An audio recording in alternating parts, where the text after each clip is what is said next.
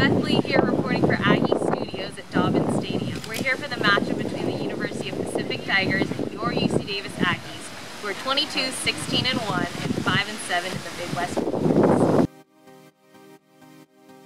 Aggies won their third straight Friday opener 4 3 against the University of Pacific Tigers, improving their overall record to 23, 16, and 1 and matching their win total from last season, which was 23 and 31. Highlights include Austin March's single to right field in the bottom of the second, which led him to score when Cameron Olson hit a triple to right center to tie the game. Spencer Koopmans earned his third straight win, allowing one earned run on five hits and tied a season high with six strikeouts. Although the Tigers took the lead in the third, the Aggies were able to battle back and score the tying run in the sixth as Nick Lynch led off with his 22nd double of the year and scored on March's sacrifice fly to left. In the end, John Williams' suicide squeeze at the bottom of the eighth plated Isaac Silva, lifting UC Davis to a 4 3 victory over Pacific in the first game of a three game non conference series.